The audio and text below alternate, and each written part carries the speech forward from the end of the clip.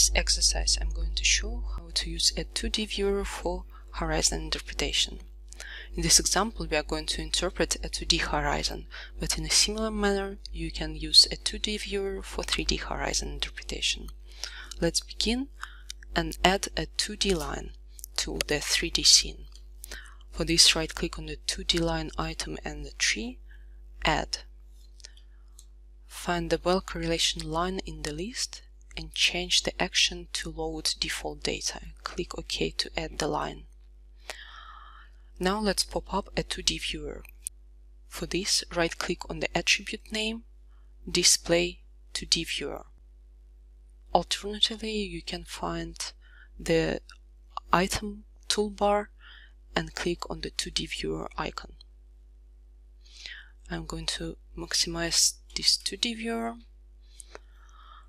and create a new 2D horizon item that we'll be tracking. Right click on the 2D horizon, check new. We are going to keep all the parameters by default.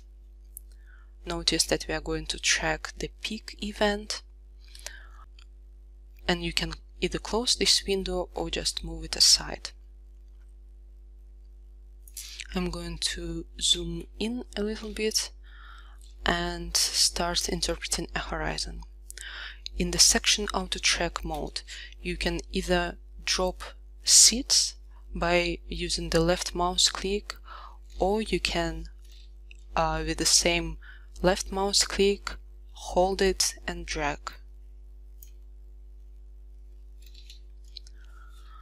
Uh, try to fill in the whole 2D line but uh, if the horizon doesn't propagate uh, to some areas, you can always switch to the manual draw mode and fill in those areas with the manual interpretation.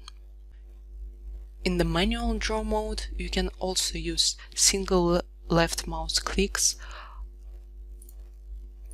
to interpret and a double click to finish your interpretation. To remove interpretation in both section auto track and manual draw, hold the control key and drag along the area where you want uh, the interpretation to be erased. Now in the manual draw you can also use an option snap to event. By doing so the horizon will be snapped to the closest and strongest peak event. Now when you are satisfied with the horizon, you can right click on it and save. Give it a name.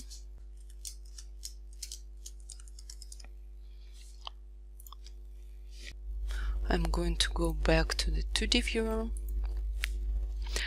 And if you'd like to continue interpreting your horizon on other 2D lines, you can notice that the current 2D viewer shows the intersections with the other 2D lines available in this project.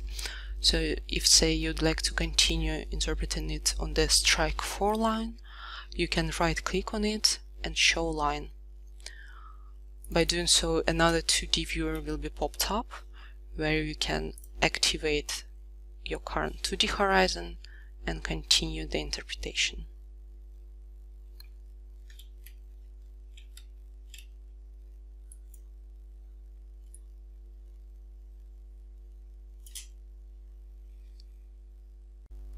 This concludes the workflow showing how to track horizons in 2D viewers.